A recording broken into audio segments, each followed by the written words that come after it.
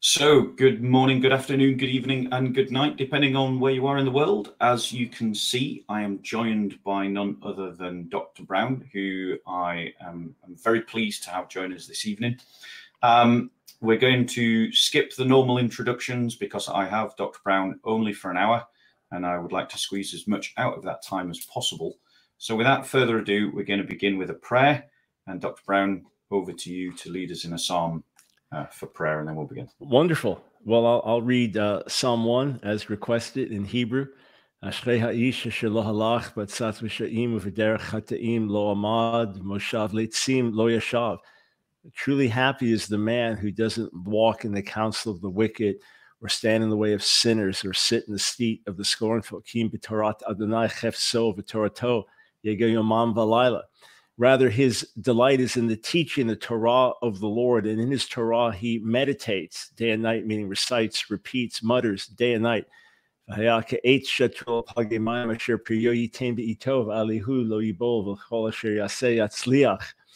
And he will be like a, a, tree planted by streams of water, irrigation streams, whose who's um, always bearing fruit in its season, His leaf does not wither. Whatever he does succeeds. The wicked are not like this, but rather like the chaff which the wind blows away.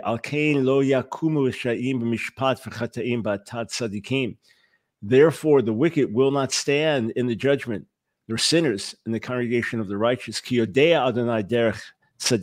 the Lord knows the way of the righteous means is intimately involved with but the way of the wicked will perish. Psalm 1 a wonderful opening to the whole book. Amen. Um, thank you very much, Dr. Brown. So, we're going to be talking about um, Christ, the church, and the law. And with that, I'm, I'm going to just say over to you, and um, I'll let you do your presentation, and I'll chip in with qu- further questions or little comments um, whenever I feel like it, and we'll try and squeeze as much out of this hour as we can. Thank Sounds you so good. much. Over to you. Sounds good. So I, I want to read first a passage from the teaching of Jesus, Yeshua, in Matthew 5 17 through 20. Uh, the Sermon on the Mount has, has uh, been well known in the church over the centuries as some of the most foundational teaching of the Lord. And many scholars believe that the Sermon on the Mount follows a, a, a structure for ancient Jewish preaching, namely, uh, it begins with um, an introduction, in this case, the Beatitudes, uh, which, just like Psalm 1, are the equivalent of Ashrei in Greek, Makarios, or in, in Aramaic, Tuvehon, truly happy, truly blessed, or the pure in heart, or, or the meek, or, or the, uh, etc., the poor in spirit. So the Beatitudes, then uh, you are the salt of the earth, you are the light of the world. So Matthew 5, 13 through 16. And now Matthew 5, 17 to Matthew 7, 12. That's the heart of the message, the heart of the sermon. And then 713 and after, uh, enter the narrow gate, beware false prophets, build on the rock. That's the closing exhortation. Now, I, I bring all that out to say that 517 in Matthew mentions the law or the prophets which is a comprehensive way of referring to the Tanakh, the Hebrew Bible as a whole. Matthew 7 12 mentions the law and the prophets. These are like bookends in the Sermon on the Mount. So, what, what the Lord teaches in, in Matthew 5 17 through 20 will now be opened up in the rest of the Sermon on the Mount. He's going to show us the way. So he says, Do not think I have come to abolish the Torah of the prophets. I've not come to abolish them but to fulfill them. Whatever reason he said that, it must have been because there was so much new about him, so much authority with which he spoke, that he was making clear I'm, I'm not undoing the foundation, I'm building on the foundation. And remember, if he had come and abolished the Torah, then the Jewish people would have known for sure that he was not the Messiah. So he said, I didn't come to abolish, but to fulfill. For truly I tell you, until heaven and earth disappear, not the smallest letter, not the least stroke of a pen will by any means disappear from the law until everything is accomplished. So there, there, there are two untils. There's heaven and earth passing away, and until everything is accomplished. Much of the fulfillment is accomplished in an ongoing way, which I'll explain. Therefore, anyone who sets aside one of the least of these commands and teaches others accordingly will be called least in the kingdom of heaven. But whoever practices and teaches these commands will be called great in the kingdom of heaven.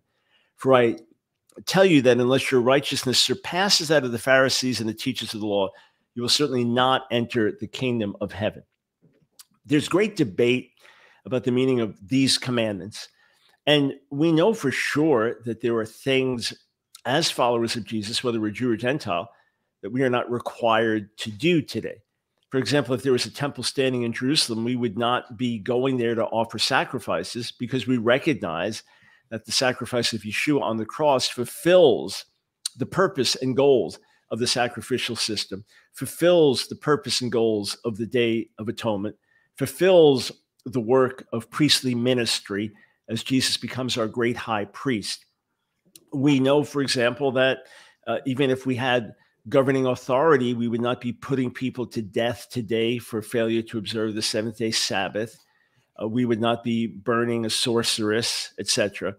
So we recognize changes have come, but they've not come by abolishing, but by fulfilling. So as as we meditate on these things, and I'm going to be very practical in a moment. I'm just laying out the concepts first.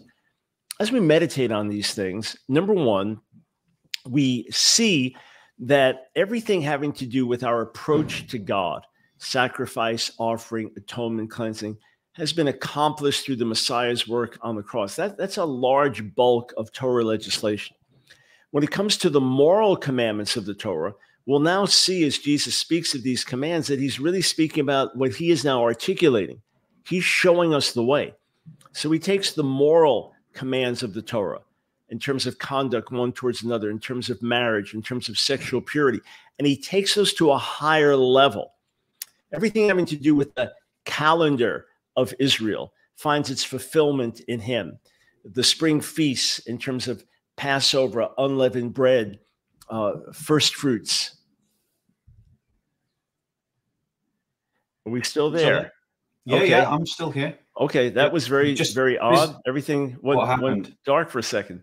So, oh. everything having to do with the Israelite calendar, um, the the spring feasts were already fulfilled in his death and resurrection, sending the Spirit. Right. So Passover, unleavened bread, first fruits, and then Pentecost everything having to do with the fall feasts. So, trumpets, his return, national atonement for Israel, ingathering of the nations. So, trumpets, and then atonement, day of atonement, and then tabernacles. That will all be fulfilled in his return. These are some of the nuances of, of what we understand through the teaching and life and ministry of Jesus. But here's what's important. I mentioned 517, law or the prophets. 712 urges us to do to others what we would have done to us, for this sums up the law and the prophets. Yeshua is now saying, I'm giving you the ethical application. I'm showing you how to live these things out. And when it comes to the specifics of the Sinai covenant that were given to Israel, number one, they were never given to the world as a whole. God never required all nations to keep the dietary laws, for example. He never judged foreign nations for violation of the dietary laws, but he did judge Israel for these things. So, what we see is that the Sinai covenant, which was given to Israel for a specific purpose, reached its goal and because of human failure was replaced by the new and better covenant. That is now articulated in the New Testament writings. This is now what God calls us to. This does not abolish what comes before, but brings it to its fulfillment, brings it to its goal. And now, as followers of Yeshua, God has written on our hearts to love one another. He has written on our hearts not to commit adultery. He's written on our hearts not to steal. He's written on our hearts uh, to to do various things. And then as we grow in Him, because we are in an in between stage, right? The messianic era has begun, but will not come to its fullness until he returns and establishes his kingdom on the earth, until he returns and we are resurrected. So we are still in an already and not yet phase. The kingdom has broken in, but it's not fully here. So we have these things written in our hearts. And yet we are not 100% perfectly renewed at this point. We still have to grow in grace and grow in knowledge and abide in the Lord to see the fullness of his life. You say, okay, that's all very flowery, very nice. What does it actually mean? Number one, it means that for Jewish people, there's nothing that Jesus ever taught that says you should stop being Jews. That was never the issue. He did not come to make Jews into Gentiles and Gentiles into Jews. That was not his purpose. That was not his goal. And, and there's nothing in the New Testament that indicates that. In, in fact, while there's no Jew or Gentile in Messiah, in the same way there's no male or female, we still have men's rooms and ladies' rooms in our congregations. We still have men's meetings and ladies' meetings. In the same way, it means there is no caste system, there is no class system. We're all one and equal in Messiah. But it, but Paul's explicit in 1 Corinthians 7 when you're called to the Lord, if you were circumcised, don't become uncircumcised. If you were uncircumcised, don't become circumcised. In Acts 15, the great debate among Jewish believers was what happens to Gentiles who come to faith? Do the men need to be circumcised? Does everyone need to be immersed and now take on the yoke of the Torah? Or does God have other requirements for Gentiles? There was never a debate about Jews. In other words, Jews continued to live as Jews. And to this day, there are Jewish believers who, in covenantal solidarity with their people, say, Well, God gave us a calendar. There's no reason not to keep it. And, and God gave us a, a Sabbath on the seventh day. There's nowhere in the New Testament where it's changed to the, to the eighth day or to the first day of the week. So we continue to live as Jews, but this is not for salvation or justification. It is simply in covenant solidarity with our people and to, continue to be a witness to our people in, in the midst of the world and in the midst of the Jewish community. At the same time, God never required Gentile believers to observe a seventh day Sabbath and to judge them for that. Paul strong in Colossians 2 don't let anyone judge you over that. And in Romans 14, dealing with a community of Jewish and Gentile believers together, Paul makes clear that you're going to have some differences, but Yep, still here.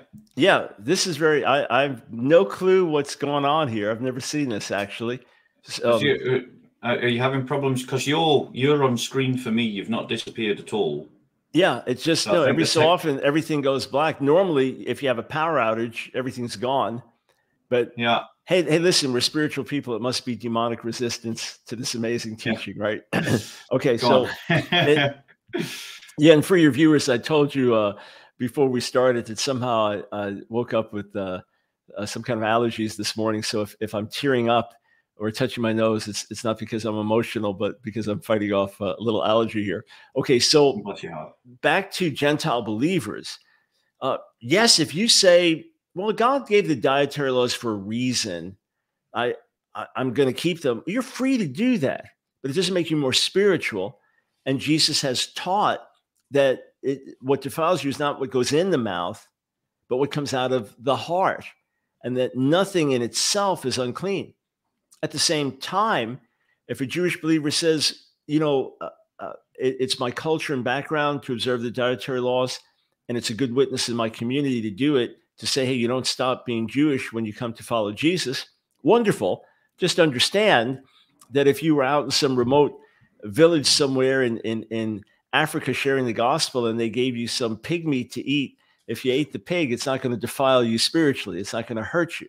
So we relate to things differently. And when Paul says in Romans 6 that we're not under the law, he means we're not under the condemnation of the law. So uh, if, if, if you fall short in some way, there is grace and forgiveness and repentance through the cross. We are not under the law as a system of justification.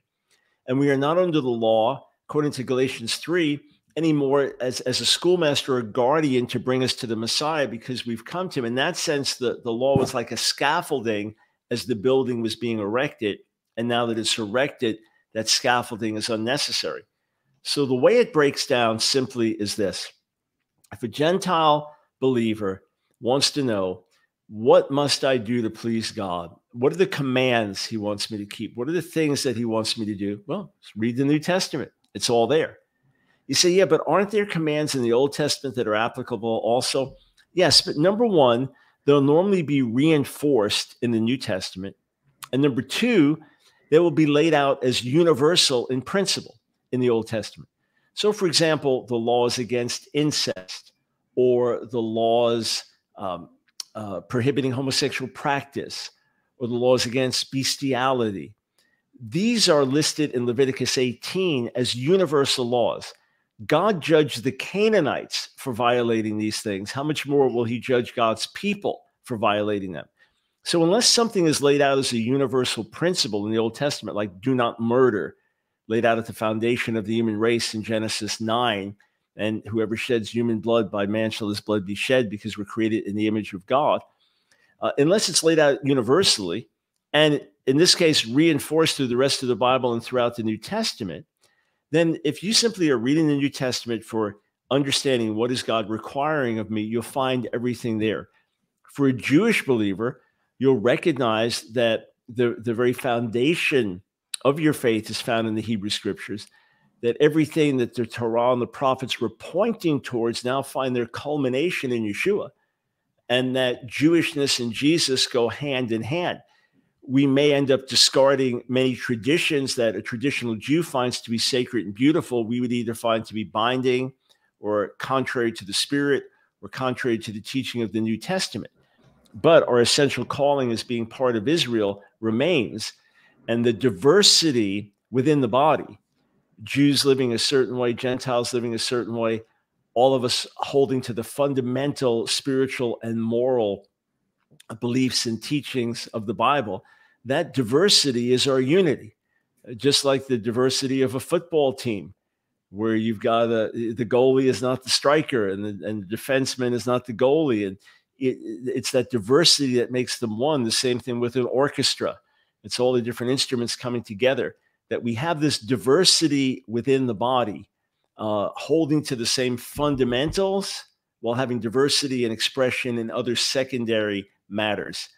What we often do is we make the secondary the primary, and and we we find our identity in being um, we find our identity in being, say, Jewish or Gentile or part of this group or that group, as opposed to finding our identity being in Jesus, in Yeshua, in Christ, and everything flowing out of that. So that's that's a general presentation. Uh, why don't you go ahead and, and ask and dig more deeply, and we can we can parse things out as we go. Brilliant. And, and firstly, I just want to say thank you. That was a, a very clear presentation uh, and a very informative as to our understanding of, of Jewish Gentile relationships within the church and also uh, our relationships to the law. Now, in in the kind of work that I do, there are certain themes, certain questions that come up. So I'm, I'm going to throw those at you. These are these are questions that are thrown at me by people who are objecting to Christianity.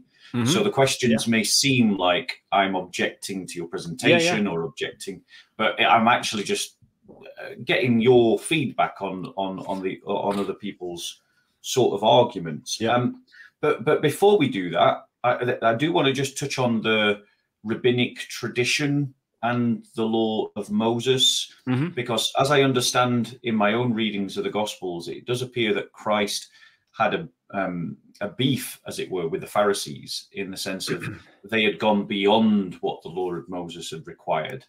Uh, and one of the debating points was between the human traditions that the Pharisees had created and, and what the law of Moses meant. So, how as a messianic Christian, how, how, do you relate to sort of rabbinic tradition and Pharisaic tradition versus the Torah law?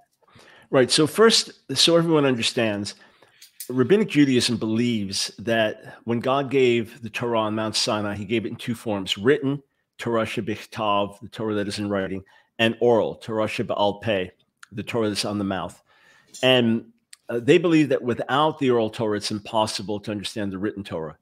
Uh, so, for example, where it says, don't do any work on the Sabbath, whoever works will be put to death, it doesn't specifically define work.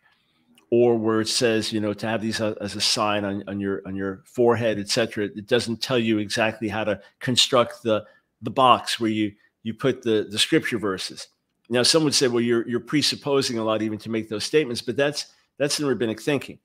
Uh, so the principles of interpreting all the commandments were given to Moses and passed down. The understanding of what they meant according to rabbis, given especially on Mount Sinai in his time there, and then passed down through the generations, and then developed over the generations. Meaning, a new situation arises because now you're living in the promised land or a new situation arises because of some technological development.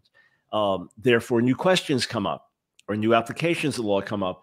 So the the Jewish leaders in each uh, in each uh, community would now develop new laws, develop new customs, and then these would be become part of this oral tradition as well that is being passed on from generation to generation. So, uh, just as you can't understand Catholicism just based on the New Testament, because it would say, no, we have New Testament and church tradition, and the church tradition is authoritative and inspired, etc. The same thing with rabbinic Judaism. If you ask a traditional Jew, well, why do you pray at these times of the day? I don't see that specifically in the Bible. Or why do you say these words when you pray? Or why do you wear this? Why do you wear a head covering? I don't see that specifically. They say, well, that, that's part of the oral tradition. And that to them is just as authoritative as what's written. Now, we know for sure that different traditions developed over the years. That's inevitable. Every community has that, every religious community. The question is are they good uh, traditions or bad traditions? And the question is are they inspired or not? For sure, um, by the time you get to the first century, you had different competing Jewish traditions. We even know in the Dead Sea Scrolls, so well over a century before the time of Yeshua, uh, one of the famous documents called 4QMMT which which deals with different uh, disputes. There's the Pharisaical understanding of Sabbath and other laws. There's the Qumran sectarians and their view. We know the views of the Sadducees were different. So so you have you have this whole controversy going on. The traditions were definitely there. Um, and and it may be that Jesus had his issue with the Pharisees because he was closer to them that's why there was more conflict. Others would say he was exactly opposed to them. But for example, going to the synagogue, that was a Pharisaic innovation. And we know Yeshua did that. He went to the synagogue. Uh, there were other things he did that would have been in keeping with, with the developing oral traditions. But his issue was where the traditions went beyond the word, or they contradicted the spirit of the word, or they contradicted the letter of the word. And that was his great issue. And that would be my issue. I would recognize many beautiful traditions in rabbinic Judaism. I would recognize how these traditions have become sacred to traditional Jews. Uh, as, as they've often said, as I've interacted with rabbi friends, that the holiness for a traditional Jew is found in the details. So the very things that we might find binding, for example, uh, this is a reminder uh, as I deal with these allergies that in 1975, I spent Yom Kippur, the Day of Atonement, with an ultra Orthodox family in Brooklyn. And uh, we were getting ready to walk over to the synagogue where we were going to be for, uh, for the day, uh, praying, etc., through the entire day. We were, we were on our way over to the synagogue. All right, here we Still are. Here. Still yeah. here so we, we were on our way over to the synagogue and I was grabbing a bunch of tissues and they said to me, oh, oh, you can't take those with you. You can't carry. And this is the Sabbath. You can't carry on the Sabbath. I said, carry. I mean, there was no, there's no weight with tissues. There's no burden with it, which was the whole emphasis of Jeremiah 17. Don't work on the Sabbath. Don't carry any loads. Right. But this is how far it went in rabbinic Judaism. I thought, okay. And they said, but don't worry, they're pre-ripped tissues in the bathroom in the synagogue from which I learned that that ripping was also now violating the, the law according to the rabbis. Now, to me, that seemed depressive. And, in their minds, it's something very beautiful and sacred and, and their way of honoring God. So I'm not criticizing those who revere the traditions. I'm simply saying that I would reject them for the same reason that Yeshua did. Either they're adding something to what God originally said in a way that does create a burden, or they're taking away things uh, because of human ways of thinking, or they are violating specific scripture verses or the spirit of, of the word. And that, that's what Jesus takes issue with, for example, when he has a dispute about healing on the Sabbath. That, yeah, uh, uh, if you're a doctor, then you don't work on the Sabbath uh, unless it's an emergency situation. That would be Jewish tradition. And I would think that's, yeah, that's good, sound. You're a Sabbath keeping religious Jew and you're a doctor, so you don't go into the office, you don't practice um, on the Sabbath. But what if there's emergency? Someone faints in the synagogue and you don't, and, and they need CPR immediately. Well, now you now you do your job to save a life. Um, we understand that. So the principle was, well, you could heal any other day, come back another day and heal. Whereas Jesus is saying you're missing the greater purpose of the Sabbath, which is to set captives free and to bring liberation and to bring rest. What a perfect day to do it. So that's where the conflict would arise for me not that traditions exist, but they have taken authority over the word and over the spirit. And mm. that's a principal area of conflict I would have with the rabbinic community. Volume five of my series, Answering Jewish Objections to Jesus, just focuses on these issues of the, of the authority of the oral law. It's not to bash traditional Jews, it's simply to say, I question the authority by which you do what you do. Mm, got it. That that's that's a brilliant answer. Thank you so much. Um, which which kind of brings us on because you mentioned at the back end of that answer, you know, the idea of setting the captives free, and you've stated that, and you've stated that, um, you know, Jews should keep um, the laws of Moses, uh, who who believe in the Messiah, when it comes to the moral laws. So, where does slavery sit in to that dynamic. And as a messianic Jew, how do you square following the Messiah, the Torah's teaching about slavery, and um, and you know our, our abolition uh, of slavery? Yeah. So number one, we're not under the Sinai covenant, and that was Sinai covenant. And number two, we see that the goal was always liberty and freedom.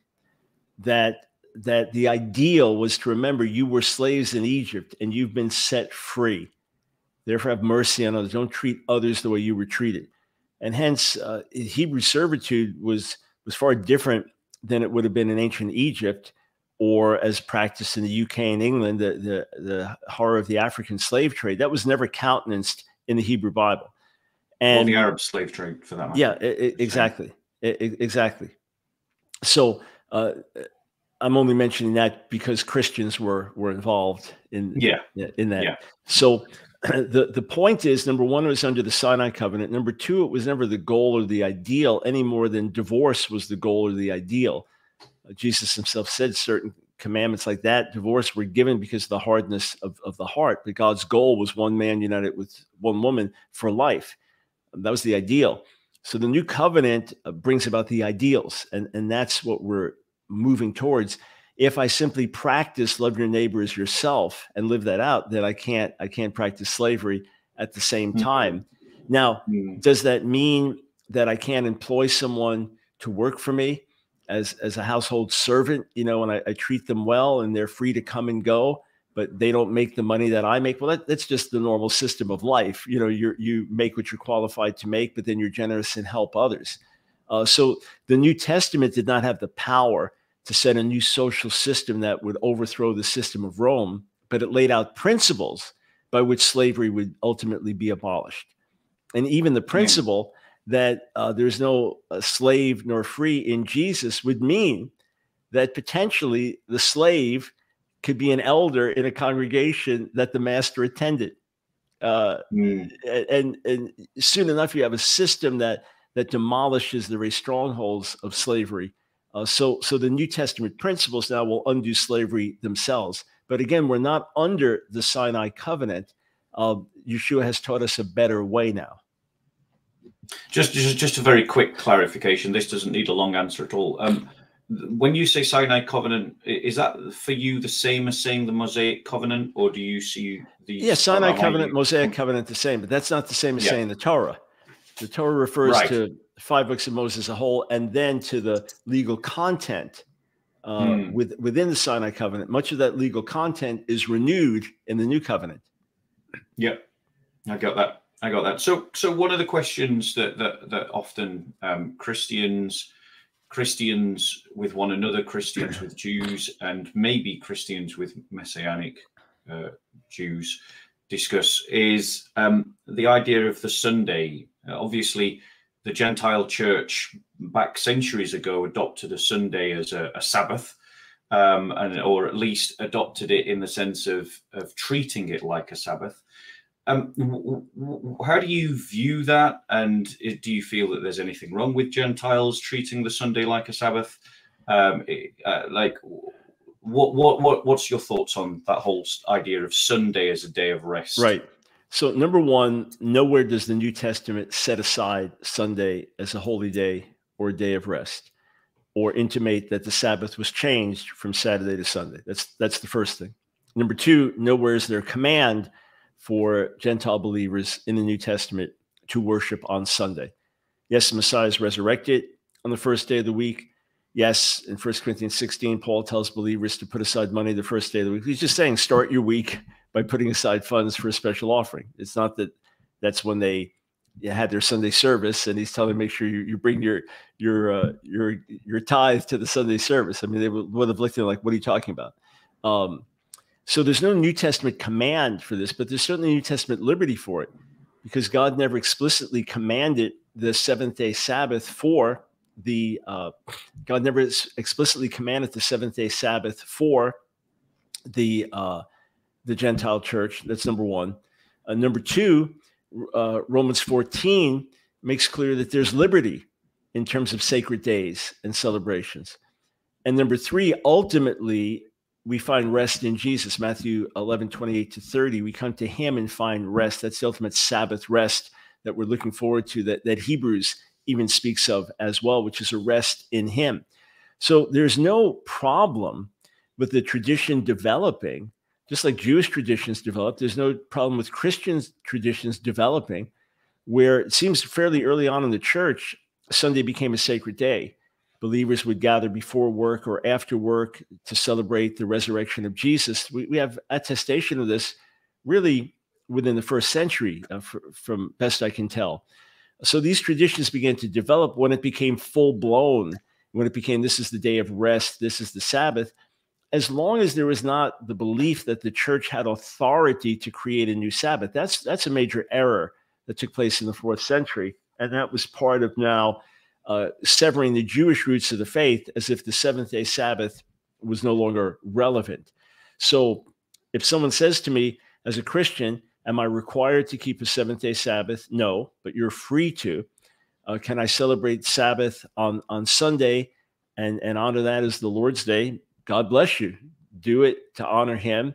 And the principle of the Sabbath is important just in terms of our physical life and, and rejuvenation. Uh, but mm. the degree of ink spilt over this and the degree of passionate arguments either way on it, that to me is the biggest error. That it's it's not yeah. something that we were supposed to be fighting over and dividing over. And Paul Paul's quite explicit about you know not judging another man's servant on questions such as this. Um, and I, I, I think it, it's useful to hear this question, particularly because, as you've said, there's been a lot of ink spilled on, on, on this question. A lot of people yeah. have fallen out over this question, and and and and so yeah, I mean, it, it's good to hear the, the, the clarity of the liberty of the gospel, allowing uh, allowing Gentile Christians to honor the Sunday to the Lord if they so wish and so choose. Um, yeah, I, I uh, so so moving on um, one of the questions um, that I think needs to be spoken of, because in, in the premise of your presentation is this idea of, um, you know, the, the Jews should keep those parts of the covenant that that continue into the new covenant uh, from the the Mosaic covenant. Um, so, like the moral laws, for example, but they don't need to keep, for instance, things like the sacrificial laws, i.e., our way to God is is fulfilled, and our way of the, the way for messianic Jews is to continue in the the the moral, ethical teaching, as are the Gentiles. Am I right in understanding that? Yeah. So, so the question would be Does God command Jewish believers to keep the, the identity markers of Israel, like the seventh day Sabbath, for example, or the dietary laws? Is it a command? Well, we would all agree it's not for our justification, that those mm. things do not save us. We would all agree on that. But there is a debate among Jewish believers as to whether it's a matter of personal calling. In other words, God calls one to be part of a messianic congregation that meets on Saturday and that is much more Jewish in its orientation. And God calls another to be part of a Sunday morning church. Uh, one of them celebrates Passover and the other celebrates Easter. Uh, some would say it's a matter of calling. Others would say, no, these are just the signs of how far we have departed from our Jewish roots, because we know the apostles continued to live as Jews. We know by Acts, the 10th chapter, Peter had still not eaten anything uh, non kosher, hadn't dawned on him to do that, right? Paul was still going in the hmm. synagogues and preaching him. He couldn't have just showed up there if he was living a foreign alien life. Um, and, and then you have for centuries Jewish believers who were Orthodox in every way, continuing to live as Jews. And the church leaders didn't really know what to do with them because conscious decisions had made, you know, in, in, the Nicene Council under Constantine, a conscious decision was made to sever Passover from Easter so that there would be no mm. connection to the Jewish calendar. Um, so, what I would say is it's healthy for the whole church to reconsider the Jewish roots of the faith and to ask how some of the unnecessary separations came about, so that ideally the death and resurrection of Jesus are celebrated during the Passover season, as they would have been in the first century and, and by much of the church until that, that final split came with, with Constantine. Um, and then for individual so, Jewish believers, they need to work things out between them and God. I do believe there is a calling on us as Jews but how that works out is going to be different in different lives.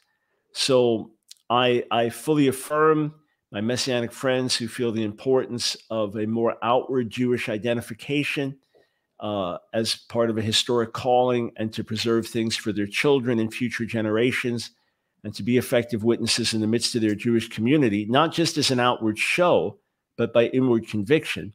I simply don't believe we can find a New Testament mandate for all Jewish believers to live in that same way, that even there, among Jewish believers, there'll be diversity. Some in churches, some in messianic congregations, some in what looks much, much more outwardly Jewish, some of what looks more outwardly Christian. Uh, and there'll be that diversity within messianic Jews as well. So, so, so building on that, so if if if if both Jews and Gentiles are obliged to keep the um, the moral and ethical law, given that in Romans it speaks about the Gentile church being grafted on to the the the the the, the root of Jesse, mm-hmm. the root of the, the Israel nation. One of the arguments that often gets thrown at evangelists like myself is well, why aren't we keeping the rest of the Jewish law then? Because if we're if we if part of the new covenant means that we have to keep the ethical law along with Jews, and we're grafted into the confederacy of Israel, uh, why then do we not, for instance, need to keep food laws or Sabbath laws? I know you have yeah. kind of addressed this already, but I, I, just want you to more directly address it yes. through the prism of what it says in Romans. Right. So number one, some of those things were specific identity markers for the Jewish people. And Acts 15 makes clear that the Gentiles coming in did not have to take on those identity markers. They now had equal status without those. That's that's part of the great revelation. No, you don't need to do these other things. When the word gets out, there's great joy in the Gentile Christian community because some of those people had been in the synagogue, they worshiped the God of Israel, but they did not convert to Judaism and take on the whole yoke of the Torah. Now they're being told you have equal status with the Jewish believers and equal access to God without having to take that on. So this is what happens now in the new covenant is the barrier comes down between the two. That's the very nature of it. So I would argue that the new covenant in its essence does not renew mandatory dietary laws, one of the purposes of those was to separate Jew from Gentile. So if you the, the whole thing with Peter's revelation, I don't think God was talking to him about food. He was talking to him about Gentiles, right? And the food laws were symbolic of that. In in in Matthew 15 and Mark 7, after Jesus makes plain that what you eat doesn't defile you, but what comes out of your heart defiles you. He then goes from there to a Canaanite woman. He, it's probably a round trip of about 60 miles. Think of walking 30 miles in each direction just to heal the daughter of a Canaanite woman, a Syrophoenician woman. And then he comes back. It, it, he was now living this out where he was he was not calling unclean what used to be unclean. So this is the very nature of the new covenant. This is the fulfilling of the purposes of the Torah, which now find their goal in the Messiah, and that we are now one family in one kingdom, and with each bringing our own diversity into it. So I would argue that the very essence of the new covenant is the barriers are removed. And in this diversity of expression through the Messiah, we can all know God equally. And does that does that mean so so going to Peter and the, the vision in Acts, um, where where the blanket comes down with the unclean foods and he's commanded to eat, you you interpret that as being about him going to the Gentiles, does that mean that he can then eat the food of the Gentiles? That he can eat unclean foods? Well, certainly. See, here's the principle, and this this comes from the Gospels. In principle, you now understand that eating unclean food doesn't defile you, because it's a physical thing, and defilement is a spiritual thing. So that's the whole point. It doesn't mean you go out and do it, right? but if you have to do it, it doesn't defile you. And for Gentile Christians, that, that was never a command that was given. The food laws were, were never a command that was given to them. That was, again, part of the Sinai covenant with Israel.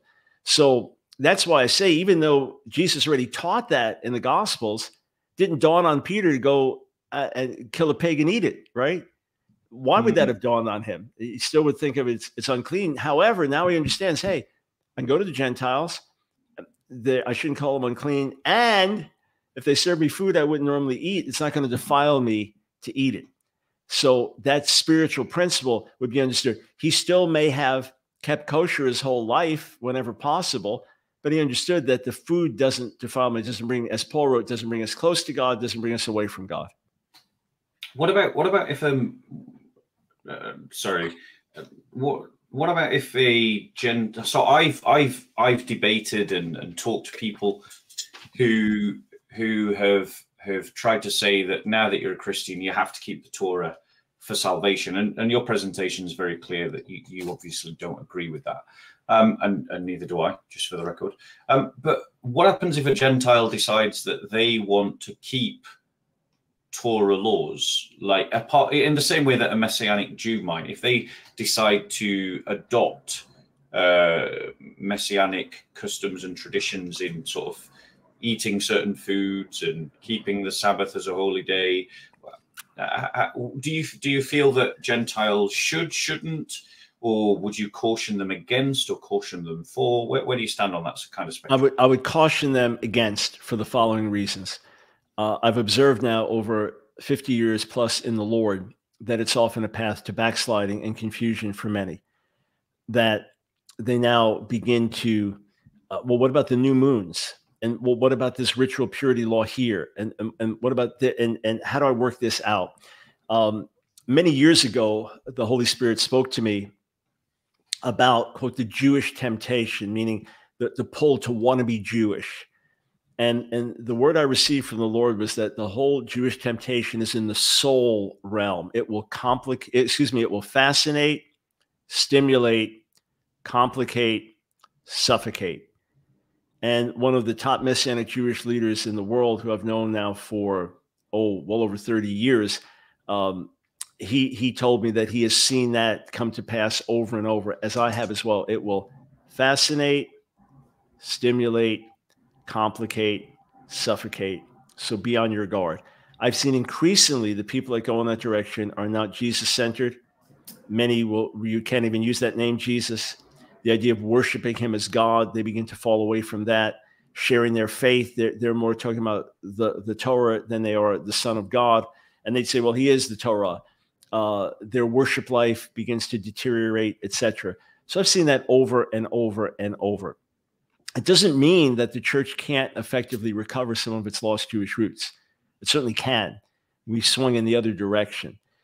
Uh, but the other the other issue is that uh, no no Gentile Christian is really going to effectively keep the law, and you know for every commandment they're keeping, okay, well, what about this? What about this? What about this? What about this? What about this?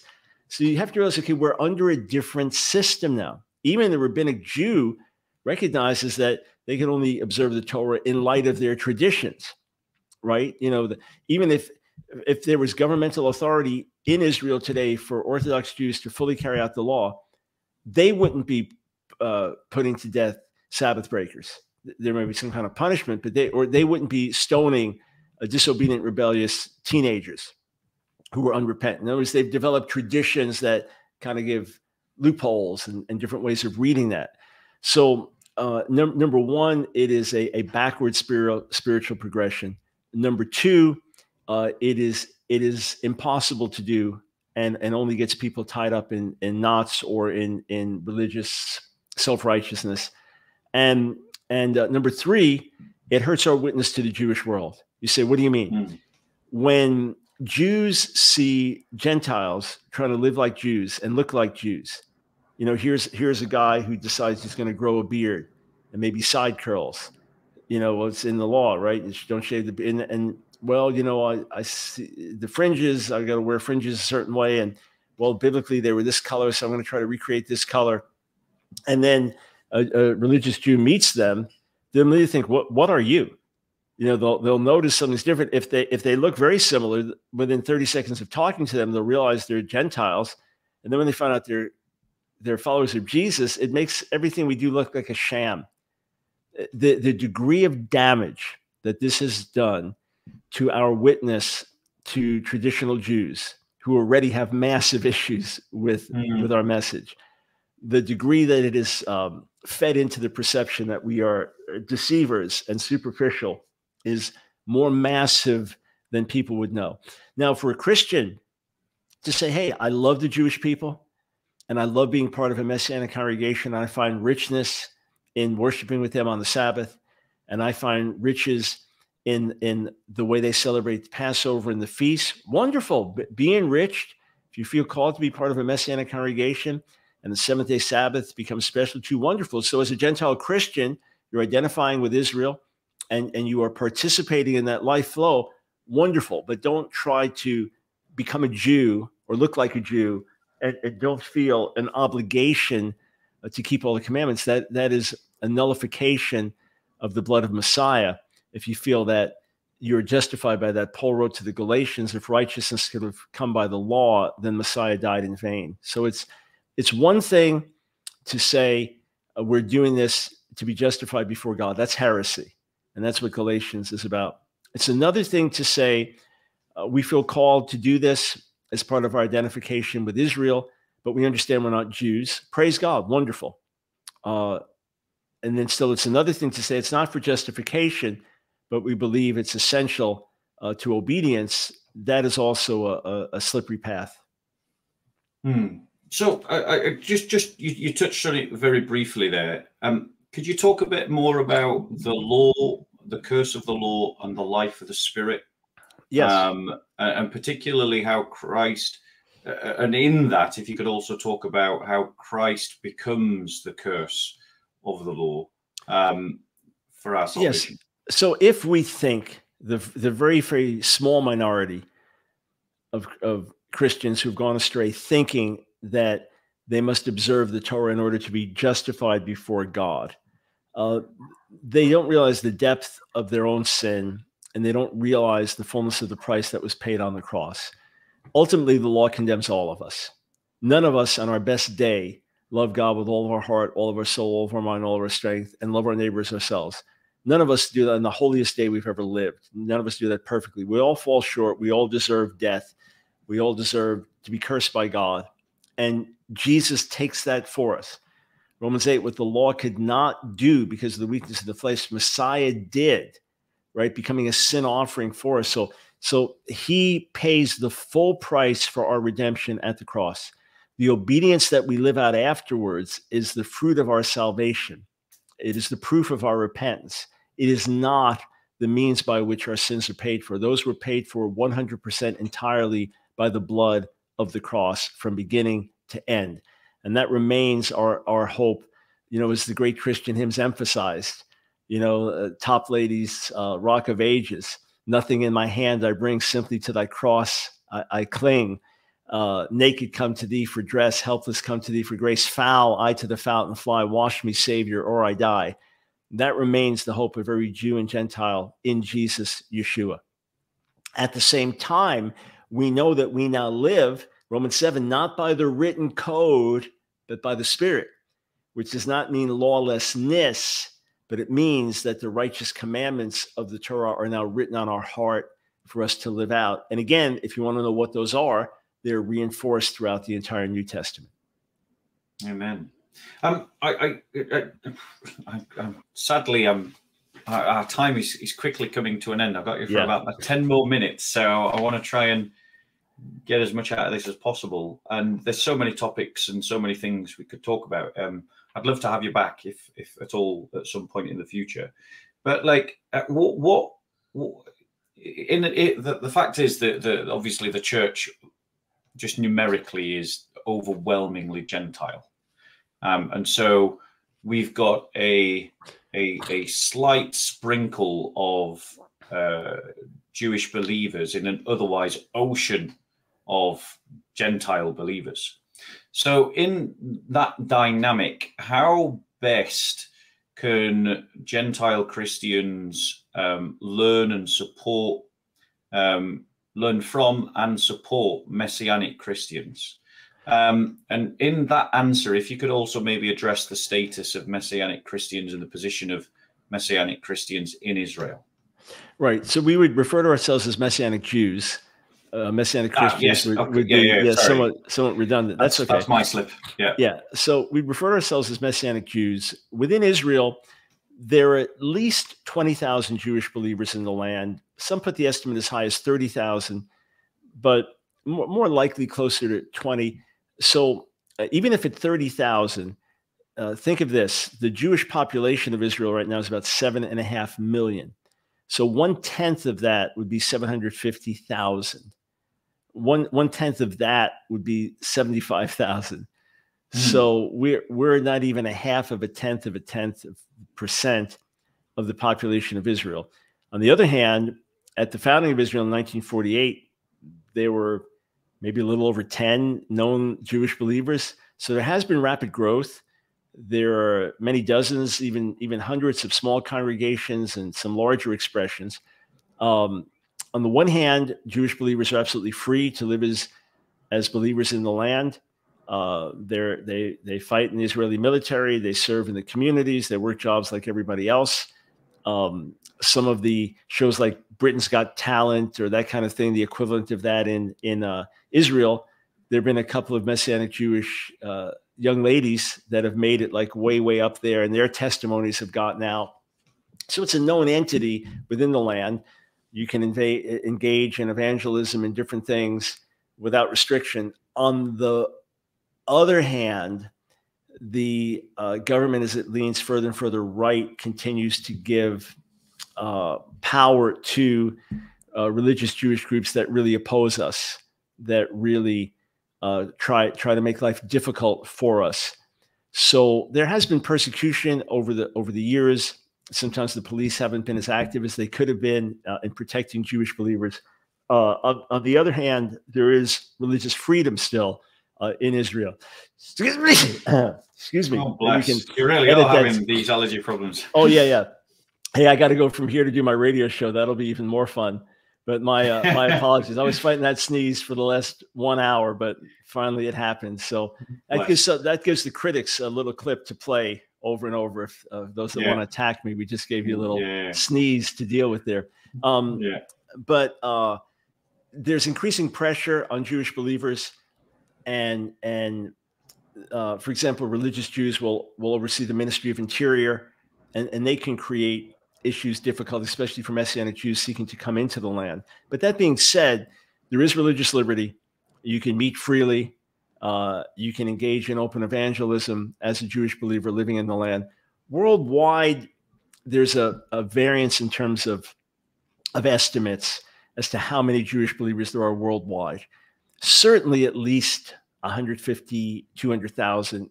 Could it be as high as 300,000? Then, if you include Hebrew Christians uh, in the Catholic Church, the numbers go up. Interestingly, though, uh, as many as 25 or 30% of millennial Jews in America believe that Jesus is the Son of God or something along those ways, not in a saving wow. way, but just in a in a religious way. So mm. this would reflect that many of them have been raised in non-religious homes and are therefore more open to these things. Um, and then among the the very religious Jews, the ultra orthodox, it's a tiny trickle of secret believers um, because they lose everything uh, in being known, and some of them are, are, seeking. So we just do our best to encourage and pray for them and and help in in whatever ways that we can.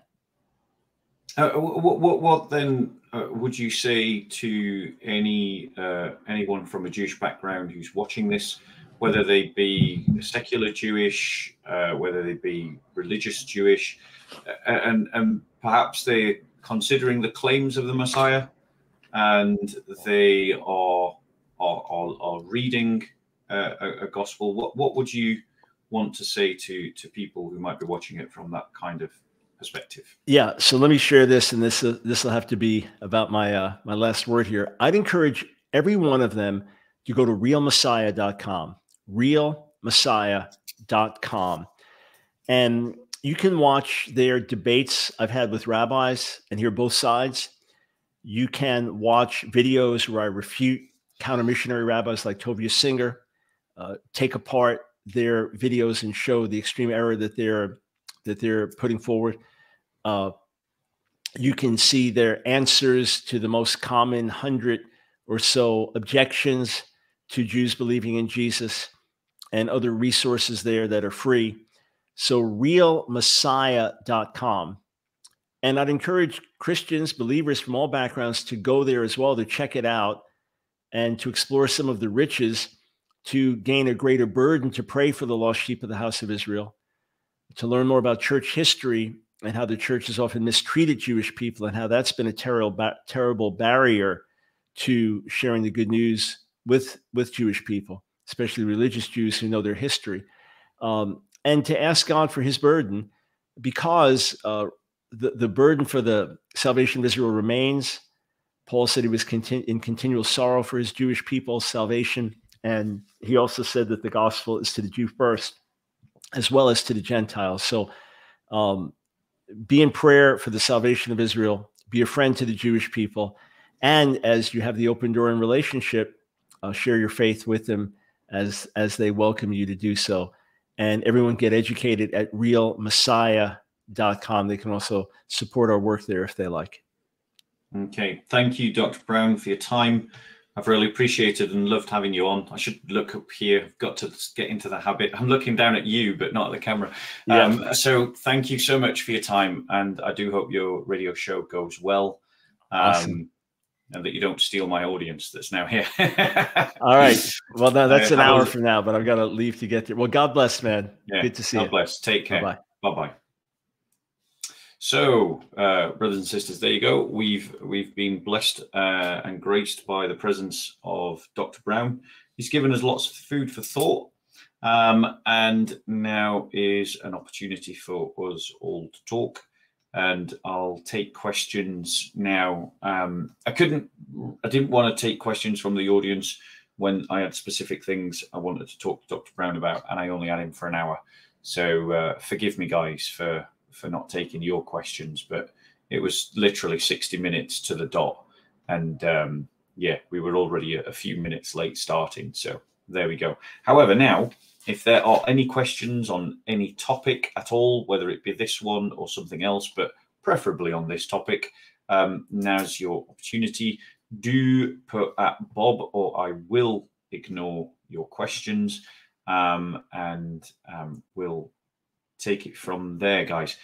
Um, yeah, it's it's been a, a, really interesting thing. I've learned some stuff that I didn't know, um, and, and will adopt um, some some new things that I've learned today. But I, I, I think it's pretty much um, understood that is the, the relationship between Gentiles and Jews within the church is that Jews are Jews not just by ethnicity but also by culture and religion. And so when they come to accept the Messiah, because that is intrinsic to their religion, they don't have to stop being Jewish. Um, uh, but they, as it were, to, to use my own words, they have to sort of modify the way that they practice Judaism. And I think that's fair that, like, scholars on Paul um, would not say that Paul would have seen himself as a as converting to a new religion or founding a new religion. He would have seen himself as continuing in Judaism.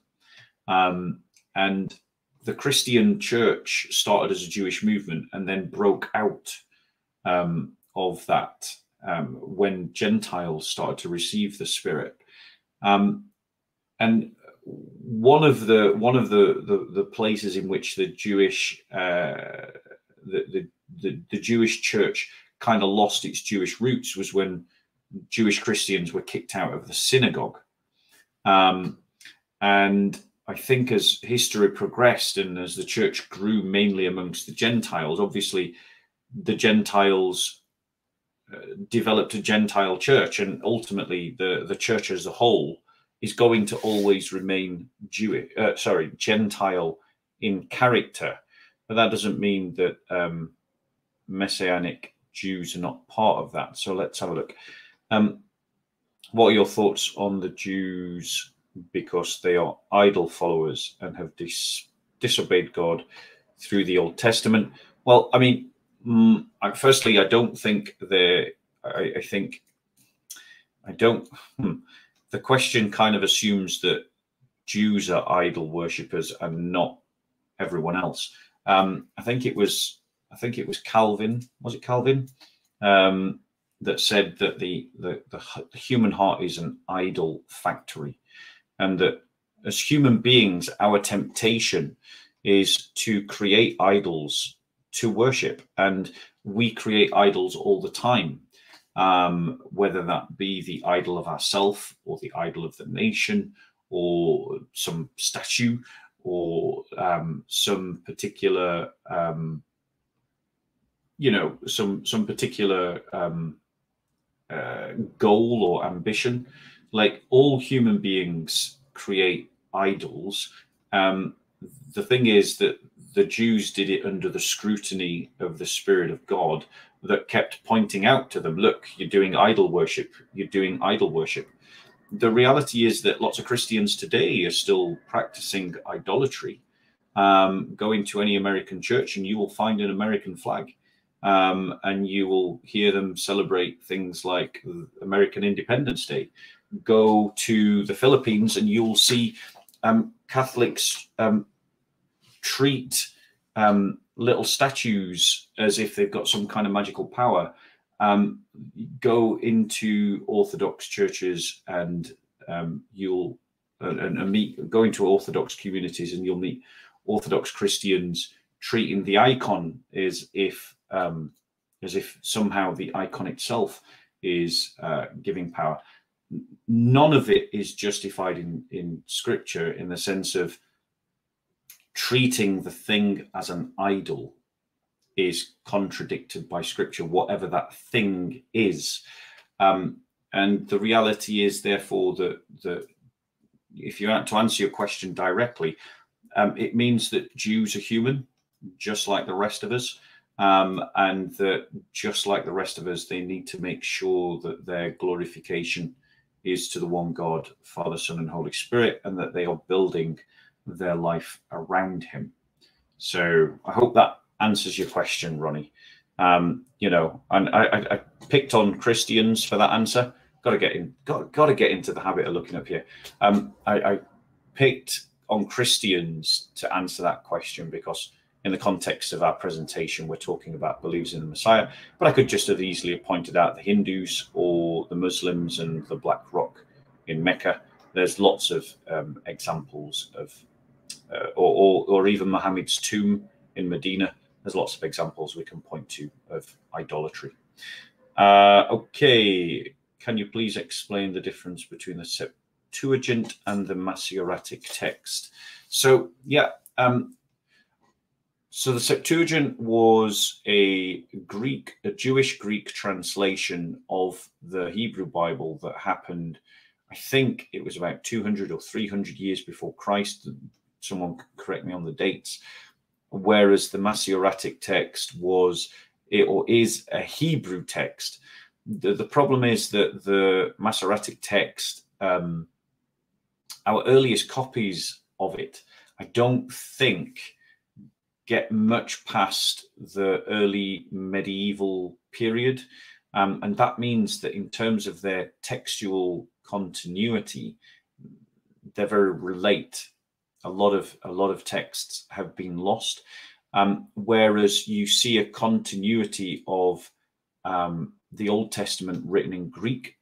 Now, when in the Roman world, because of the Hellenizing influence of Alexander the Great, um, the, the, the lingua franca of the Roman world was Greek, and Jews in the diaspora to whom the first apostles went were not using Hebrew, they were using the Septuagint. And so when the church, when you read about Paul disputing with the Jews or any of the apostles disputing with the Jews uh, outside of um, outside of Israel, um, you should assume that they're using the Septuagint to do that disputing, to do those arguments. And so the Septuagint became the standard Old Testament for um, the early church. Um, so I hope that answers your question, bro. All right. Let's go and see. And and so Christians are free. Christians are free to use either Greek or Hebrew. We've got there's no there's no rule about which we can use. We're at liberty to use both. And actually, I think, especially with the discovery of um, the Dead Sea Scrolls, um, it makes sense to use as, as wide a variety of manuscripts as possible um, to make sure that we've got the most accurate rendering of the scripture into our native languages as we can. My day was great. Thank you very much. Okay, any other questions? Or are we all done, guys? Because if there are no questions for me, then I'll end the live stream. You guys seem to be caught up in your. Um, is it really true that you are pro death penalty person? Please answer and elaborate. So I'm not pro death penalty. I'm just not against the death penalty in every case. I think that there's nothing in scripture that would um, forbid the idea of the death penalty. Um, I think that there are some crimes um, that could require the death penalty, um, and the, but they would be the most heinous acts. It would be kind of like, you know, SS officers in the Waffen SS or in the groups that used to go and just mass murder civilians. It would be jihadis that go and blow up churches um, or, or, or run into churches and, and, shoot up the place. Um, and anyone else who does that, by the way. Um, and that would include, for instance, the New Zealand um, mosque shooter. Um, and so I think in the most extreme crimes, um, uh, the death penalty may be justified. However, the thing is within within within secular Christian law, um, Christians are free to debate and to argue about how Christian principles apply in the secular world. Um, and, and there isn't, there doesn't have to be a universality behind that. Um, so, for instance, when Justinian did his reformation of, of Roman law, he introduced huge swathes of Christianity in that reformation um, to create Roman law. Um, but different emperors tweaked that law over time. Um, if you look at the Latin West, different kings had different secular laws, even though they were all Christian. And the reason for that is because they were thinking about Christian principles, they were thinking about Christian values, they were thinking about Christian goals, and they, they were deciding with fear and trembling, working out what that meant in terms of legal application. And they came to different conclusions. That's not a problem. Um, and before any Muslim tries to boast, I wouldn't, because if you look at your schools of fiqh, your schools of fiqh have disagreements over just about everything. Um, and, and some of them are pretty weighty issues like whether um, you can have an abortion or not. Um, so, or, or, or, how you divorce someone. I mean, these are not small things. Um, so, as a Christian, I've I've been won over to the idea that in certain circumstances the death penalty um, could apply, but that doesn't mean that every Christian has to agree with me because you've got to we we're all working with the same um, ingredients or the same blocks, um, but we may build those blocks into different shapes um, in the way that we apply um, our understanding of the faith, and that also uh, is true of law as well. Okie dokie. So, any other questions for me, or are you guys just having your own conversation? Let's have a look. Are you really on Sunday, my son? Speaker corner. Um, I'm guessing you're asking me if I'm at Speaker's Corner this Sunday. Um, no, I won't be at Speaker's Corner this Sunday. Uh, I've got a family do to go to, please put at Bob. That is not at Bob. Um, however, I did spot it, so I'll I'll do it. But please put at Bob, not so it, it just makes it easier for me to see. Um, what do you think about Jews who have forsaken the Bible and have the Talmud, which is the 12th century Islam? The rabbis are untouchable, like Islamic imams. I think that um, I think that for me, Jews obviously need to come to repentance. They need to come to a place of accepting um, the Messiah. Um, and I think it would be interesting if sadly it's not one of those issues that we really got in touch with, or, or we did slightly touch on it with um, Dr. Brown, which is this idea that um, where the Talmud contradicts the spirit or the word of scripture or where the talmud um, or where the talmud goes far beyond what is required in scripture I, I don't believe that those traditions need to be kept however i do agree um, with what dr brown said about the fact that every culture and every group creates their own traditions and customs around what they believe Christian churches do it as well. We call it churchianity. Um, and not all churchianity is bad. And if you think that all tradition and custom built around your faith is bad, then you're a really poor Bible student. Um, but but just as with our churchianity, it needs to be under constant review because there is this interface between um, scriptural injunction on one hand and cultural circumstances and needs on the other. And these two enter into an interface. And it's in that interface discipleship occurs and discipleship exists. Um, so, as circumstances and situations change, discipleship needs to change with it, even though the word of God is unchanging and the message of God is unchanging. And so, the Jews also have um, built up traditions and customs. And where they can't fit into the new covenant that Christ himself establishes, then that needs to be thrown away as dross. But where they are compatible with discipleship in Christ, then the Jews have a culture which is Jewish and they have every right to practice that, just like I, as a Saxon, have the right to practice a Saxon culture, or someone who's um, a Frank has the right to practice a Frankish culture, or someone who's a Zulu has the right to practice Zulu culture, and so on and so forth.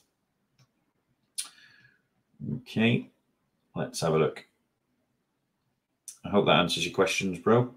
Any more questions for me? Please do put at Bob. Okay.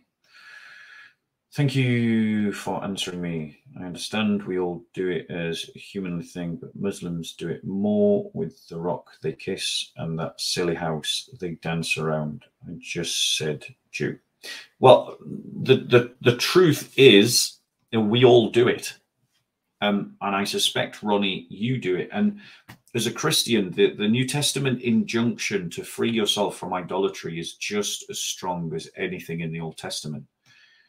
But the idolatries that the church create and the idolatries that Christians have opened themselves up to are, are, are of a more subtle nature, nature. And, and Reformed Christians, particularly because they, you know, did away with iconography and um, and and and other visual descriptions. The if if a reformed Christian's going to fall into idolatry, it's usually nationalism, um, and actually, it's that's true of the Orthodox Church as well. Nationalism is one of the biggest idols that the church struggles with. Nationalism is one of the biggest idols um, that permeates the church, and and I would say that the second biggest idol that church that permeates the church that we have to smash is the the idolatry of self, the idolatry of me um, as an individual, as as a focal point of my own religiosity. This this this is also a great idol um, that we often fall into danger of. And I would say that one of the best ways to avoid those idols is to refocus and to recenter your activism and your energy on building up the church because the church is the body of Christ and therefore to serve the church is to serve Christ. And and if your energy is towards the church rather than towards the nation if it's towards the church rather than towards the self i think it's a good way of freeing yourself from those idols. Um okay what do you think about Jews who have forsaken the Bible? Okay, we've already dealt with that question. Are you guys not got many questions today? Let's have a look. Um, like you, I believe in evolution. How do you square evolution with Genesis, which I can't do? I'm new to Christianity, having been an atheist for decades, and this is a real issue for me. Well, I, I, I, I square it in the same way that Origen of Alexandria does in First Principles. Now, Origen is a church writer. He's not a church father because he got too much wrong. Um, but he taught he he mocks actually those who take um, Genesis literally, um, and he gives examples as to why he does that. Um, and the Alexandrian school of theology that grew up in the Alexandrian tradition of theology emphasized the allegorical over the the the, the literal reading of scripture.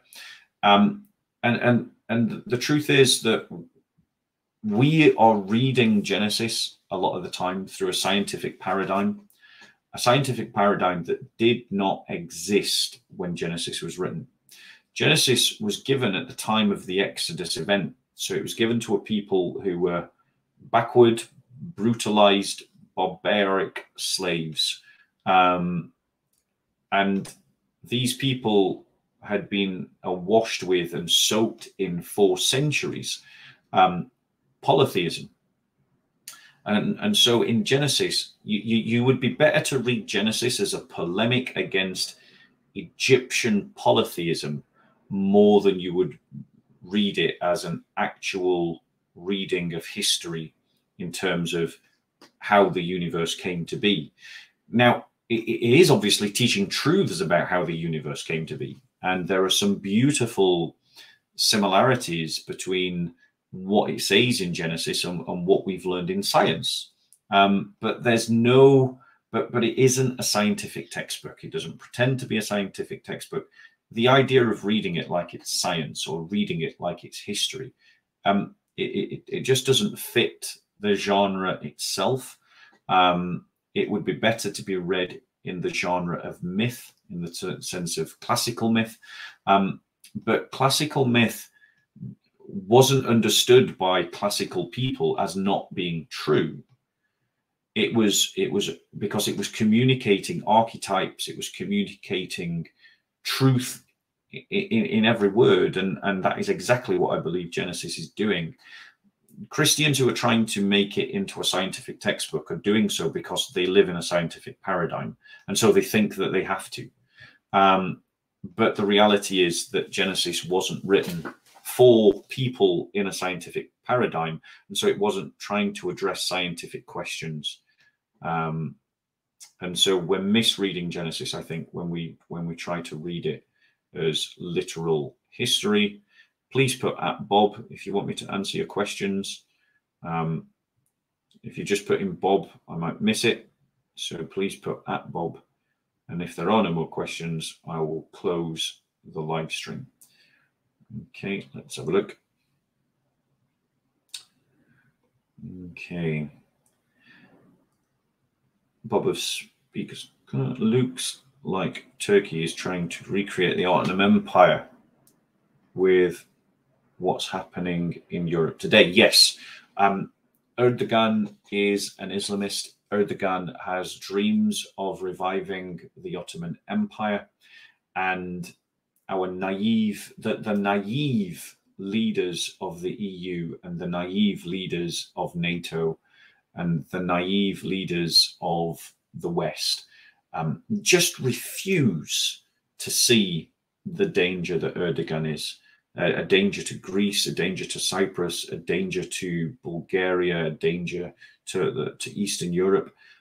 The, the, the guy is using the West um, and he's using the West um, because the West is is led by these weak, weak liberals who um, are frightened of conflict. Um, they have an ideological blind spot, which means that they literally cannot see Islamist ideology, even when it's slapped bang in front of them. You know, uh, the most sympathetic interpretation is you can try to imagine that they're trying to outlive Erdogan. But the reality is they can't outlive Islamist ideology. They can only oppose Islamist ideology. Uh, the Turkish state is guilty of the genocides of Syrians, of Armenians, and of Greeks. Um, anyone who goes to Turkey is essentially going to the Nazi Third Reich. You're going to a state that is directly the continuity of the state that carried out a genocide, multiple genocides, um, and has desecrated the Church of the Hagia Sophia. The world talks about, you know, the Israel-Palestine conflict, but what about the occupation of northern Cyprus and the ethnic cleansing and religious cleansing of Orthodox Greek uh, Christians from northern Cyprus that still is happening today? Um, it has never paid reparations for any of the genocides. And so we should have a more robust attitude against the Turkish state. And I, I, say Turkish state deliberately because there are lots of Turks that are against Erdogan, and we shouldn't forget that. What we should be doing is trying to support those Turks who are against Erdogan. Um, but more, more than anything else, we should be supporting the Christian community inside Turkey regardless of its denomination, we should be supporting Catholics, Orthodox, Protestants who are living inside Turkey because they're living in a hostile environment, a hostile environment created by the Islamists that the liberals like to pretend are not there. Okay, rant over, moving on. Okay, guys, let's have a look. we need to put stronger laws on Islamic, Arabic Muslims who enter our country. They are poisoned. Well, I firstly I want to correct you. Uh, I don't think you should mix ethnicity with religion. That's the mistake that liberals do. Um, this is not about picking on Muslim Arabs or even Islamist Arabs. It, it's about it's about dealing with Islamists because the liberal state, as as we have evidenced and documented over six years at Speaker's Corner, the liberal state is allowing Islamists to operate unchecked, unchallenged. There is no um, pushback from liberals culturally against Islamists because they're making the mistake that you just made. They're confusing ethnicity and religion as if it's the same thing. Um, we do need to create robust, strong laws that make it impossible for Islamists to operate. But the reality is, we can only create those robust, strong laws if we abandon liberalism, if we um, if we abandon the um, the the the ideology of the Enlightenment, because it is precisely the ideology of the Enlightenment that has allowed um, the Islamists to take root in Europe. And the only way that we can abandon that is if we have another narrative to organize our lives around. And this is what I call a muscular Christianity, which is the kind of Christianity that existed in Europe before the Enlightenment. Um, the kind of Christianity that has beaten jihad before, the kind of Christianity that never allowed jihadis to take root. Um, and that's the kind of Christianity that we need now. It's not about it's not about it's not about trying to recreate the past. It's trying to it's about trying to learn from the past and build a different future. But that starts with each of you rejecting the Enlightenment and understanding where the Enlightenment stops and Christianity begins. It's about understanding that that the ideas that have emerged from the Enlightenment um, are not intrinsically Christian ideas, and therefore they don't need to be defended by Christians. And we should reassess as Christians where what parts, what good or bad things we want to keep from the Enlightenment and what good or bad things we want to get rid of. Because, like with every culture, it, it should find its truth in Christ and needs to be filtered by Christ. So there are things to, that have come out of the Enlightenment that can fit into the new covenant. And there are things that have come out of the Enlightenment that cannot fit into the new covenant. And we must get rid of those things that cannot fit into the new covenant that we, the people of God, have to follow. The thing about the Enlightenment is that it it it it, it secured Christianity as a lukewarm, half-hearted, half-committed faith that served the state, and the church, on the whole, ended up accepting that settlement that we should have a lukewarm, tepid Christianity that that's that that is on the back burner um, that's timid, um, private, and not um, confrontational, um, and, and serves the good of the state. I call upon Christians openly to reassess whether that's where the church should be, whether that's what the church should be, and whether that is how the church should behave. Okay, that's the second time I've seen you use foul language.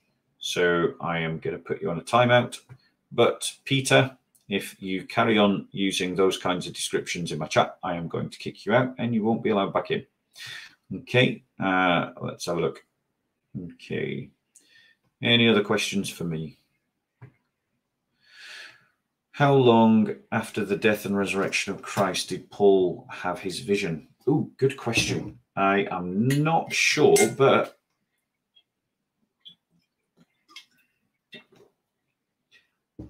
Um, I think, if memory serves me correct, it's within five years. So within five years of the resurrection of our Lord, Paul has this vision. And, and the things that you've got to realize, guys, is Paul was a persecutor of the church. For him to come over in the way that he did, for him to become a Christian because of a, a supernatural experience in which he um, has an encounter with the risen Jesus, is a very powerful evidence, not only for the sincerity of his own um, conversion, but also for the truth of the resurrection itself. That's actually one of the, the key pointers, uh, the key indisputable facts of history that point towards the reality of the resurrection. A man who was persecuting the church, who was set upon killing Christians, a man who sought to um, to make life difficult for Christians. He um, then becomes one of its chief apostles. He then becomes one of its chief evangelists. And he did so precisely because he had a supernatural experience of the risen Jesus. Now, historians, you know, can dispute and do dispute what was the nature of the experience that he had. But there aren't any historians that deny that Paul had an experience that convinced him personally that Jesus rose from the dead. And that, my friends, is a very powerful argument for the resurrection. And it is a reason why I invite you to believe in the resurrection if you don't already. Any other questions for me? Let's have a look. Uh, you guys are going on. What's I hope you're all behaving in the chat. If there are any admins, I hope you're kicking out the trolls. Let's haven't lost any questions. Bear with us. Nope. So what we got? I have to flick down through this quickly, which is why I, I asked you to put at Bob so that I can see that you are talking to me. Um, going back to your view on muscular Christianity, would you support, for example, a security company for Christians, by Christians, to guard Christian businesses and churches? Yes, 100%. Absolutely, I would. Um, it can be done completely legally. Um, there's no law against it. Um, and it, it, it is something that, as we are seeing the secular state increasingly fail to restrain the hand of, of Islamist thugs and to lose control um, of left wing political violence, um, as we're seeing in America, as we're seeing in the UK, Christians need to organize legally. I, I stress this, I can't stress it enough. Um, legally, we need to organize for our own security. We can do that. There are legal routes that we can take, and we should take them. Um, you know, I'm, I'm not advocating anything against the law. I'm not advocating vigilantism. I'm, I'm saying that use the fullness of the scope that the law permits you to do. Um, but this this would only work it would work best, rather, if Christians followed the Benedict option. And this debate, in some way, around the Benedict option that I keep trying to get started amongst Christians, I'm going to win that debate in the fullness of time anyway, because you, the, the church will either dissolve and disappear and die, or it will adopt the Benedict option. Sociologically, those are your options sociologically, the church either evaporates from the West or it adopts the Benedict option.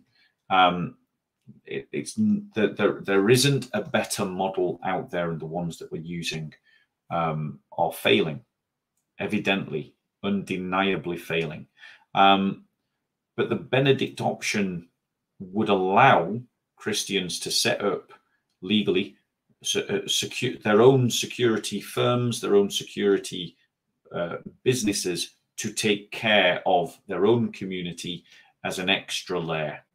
Um, and yes, I, I fully support.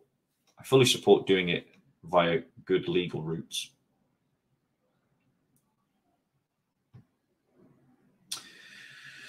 Me and my wife have different religious beliefs. We got married both Christian, but she has become an unbeliever. I need advice. We love each other, but is this too big? Hmm. So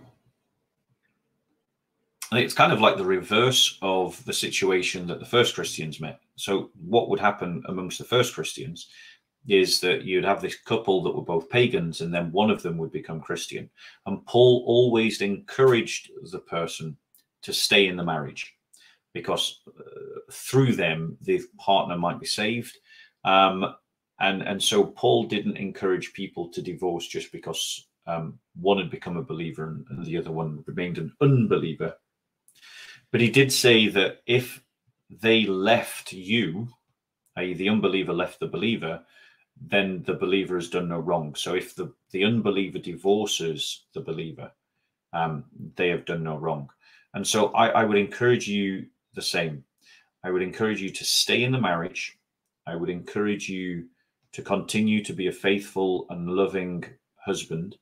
Um, I would encourage you to continue to, you know, um, where opportunity provides, um, to evangelize your missus um, and, and, hope to win her back to the faith.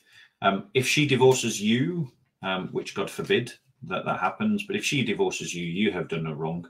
Um, but but the other thing is, you know, a prophet is never heard amongst his own in his own town, amongst his own people.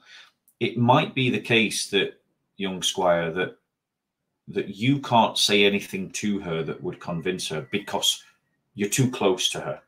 So maybe introduce her to a good evangelist, a good speaker, a good representative of the Christian faith who might be able to, to communicate the truths that she just can't hear from you because you're too close.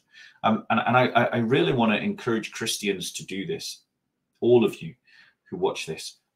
I connect and network with the good evangelists in the body of Christ and and people that you're evangelizing take them to the evangelists because it, or, or, or network with the evangelists and and let the evangelists help you because the reality is that we've got a disconnect within the body of Christ at the moment the evangelists go and do their evangelism and then everyone else just sits back and either does none or does their own thing independently, and the people with all the experience are just doing their own.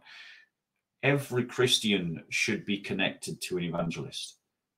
Every Christian should be con connected and either learning from or taking people to the good evangelists that they know. And so I do put this invite out to everybody. If you are evangelizing someone and I can help you do that, get in touch. Willa can either do it via Zoom, or if you're in London, we can do it in person, or if you want to bring them down to the corner and we'll talk at the corner. But yeah, I'm happy to evangelize anyone that you're evangelizing with. When you've taken that conversation as far as you can take it, um, take it to the evangelist so that they can take it further. I hope that helps you, bro. Um, sadly, I, I, we should pray for this brother. You know, that's not a great position to be in. I, I would just say as one final thought before I move on on that is that wherever she adopts a Christian position, double down on it and and and laud her, applaud her, and praise her for adopting any Christian position. Because if there's enough things in your marriage that are still Christian in terms of values and goals and, and so on and so forth and attitudes, that marriage could still work and it keeps the bridges open by which she might return to the faith. What minimal facts of the resurrection are so strongly attested historically that they are granted by nearly every scholar who studies the subject, even the rather skeptical ones? Oh, good question. So, um, that Christ was crucified, that the that the, the, the his first followers who knew he had died um, had an experience that convinced him that he had risen from the dead. That this experience did transform them, um, and that they went on to preach about this resurrection, even yeah, um, that Christ was buried in a tomb. Now that one that there'll be some pushback from some, but actually there's really good grounds to believe that Christ was buried in a tomb. Um, that um, let me just think that this transformative effect meant that, and this is something where I, I didn't want to sort of push back too much with with Dr. Michael Brown while he was here because I had so many questions to ask him, and I didn't want to get caught up in a debate that would suck up all the time. But one of the things that I would have maybe um, tickled uh, Dr. Brown's mustache over is the fact that um, you know the, the it, it, seems in Scripture that Sundays did become a day of worship for Christians. that they would gather and break bread. And that breaking of bread, I understand to be communion. Um, and so I would say that Sunday did become a, a day of worship. Um, I'm happy to go along with Dr. Michael Brown in saying that they didn't maybe see it as a Sabbath, um, but they did see it as a, as a special day. And, and that's transformative because uh, that's particularly powerful because there's no Jewish reason, there's no Mosaic Jewish reason to to make Sundays a special day, but it's undeniable that Sundays did become a special day. And that actually is probably why Gentile Christians then went on to establish Sunday as a Sabbath, because the Jewish believers introduced to them the idea that Sunday was a special day. When in the Roman world, no one thought Sunday was a special day. Um, so that that's a, thing that points to the reality of the resurrection. Um, I forgot where I'm up to.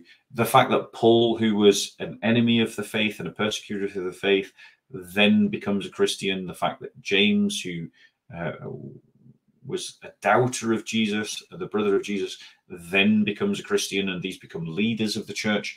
These are the kinds of um, and and the fact that many of the, these followers are known to have gone on and died for their faith, like Paul, um, I believe James as well. Um, I'm pretty sure James. Um, you know, and Peter, undeniable um, historically that, that these characters uh, went on to die. We can't verify all the martyrdoms, but we have every reason um, to to accept the other martyrdoms based on the ones that we can verify.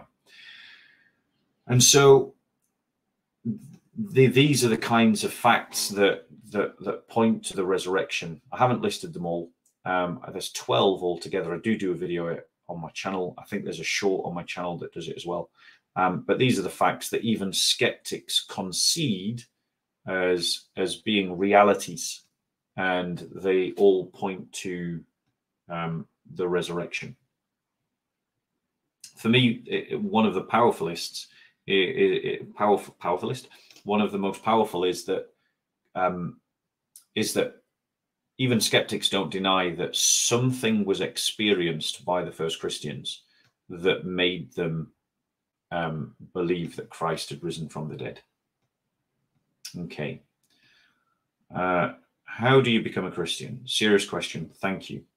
Wayne, if you're ready to become a Christian, um, I can I can lead you in a prayer right now, um, and and that prayer is is basically a commitment to Christ. I mean, it, it's essentially to pray.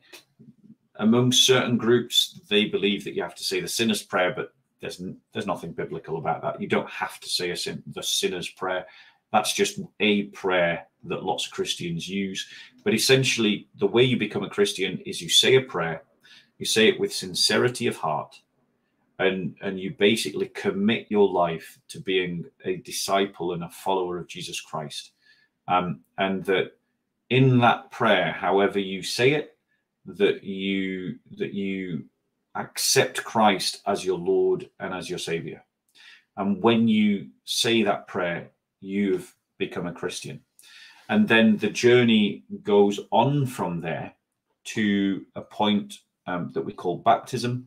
And at baptism, you are declaring to the people of God, to people like me, that that prayer that you said however long ago was a serious thing that you that you want to now as it were, make it, seal it, as it were, um, as your entire way of life.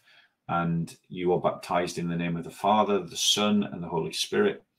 And it has to be in that formula. Um, and then, and then your journey as a Christian is complete. Um, you're sealed, and you're now part of the people of God. Um, you're part of the covenant, as it were, and you you you then continue as a disciple. So if I see another message from you saying that you want to become a Christian on air, we'll say a prayer together. Um, but if not, that's how you do it. And feel free to get in touch with me. My email is btbsoco at gmail.com. I'll happily talk with you if you're in London, meet with you and, um, you know, continue this conversation um, further. Okie dokie. Let's have a look. Uh, what are the key pieces of scriptural support for OEC interpretation? I'm afraid, bro, my mind is drawing a blank on what you mean by OEC. Um, OEC. No, I can't figure out what you're trying to tell me. So I'm afraid I can't answer your question. Very sorry. Um, you'll have to put OEC into words. Um, I'm just drawing a blank for the moment. OEC. Oriental, Eastern. Nope. It's not energy's essence. Nope. Sorry, bro. I, I just don't know what you mean by OEC, so I can't help you. Um, I, I'm not an encyclopedia. At Jimmy, ask your question again. But do put at Bob. Please put at Bob so I can see that you are talking to me. Um, you're lucky, even though you didn't put at Bob. Do I think people? Uh, do I think people? Yeah, yes is the answer to the question. I think people can lose their salvation. Um, you know, not every Christian agrees with that position, um, and they have their reasons. But I think that it is possible for someone to have sincere faith and co- make a sincere commitment, and then somewhere down the line decide to chuck all of that in the bin.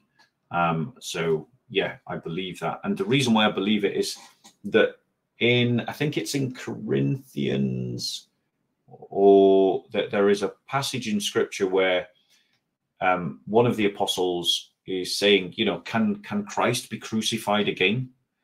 And it's very clear from that passage that cry that the apostle is speaking about people that he thinks have had sincere faith.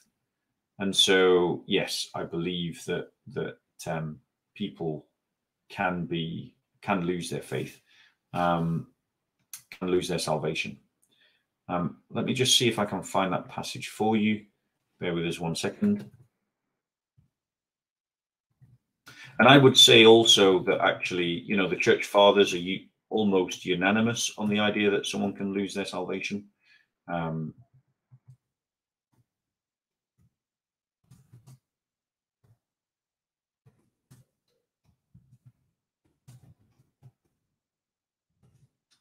so it's in maybe it's in Hebrews then, possibly Hebrews six. Hebrews six four to six. So just go there.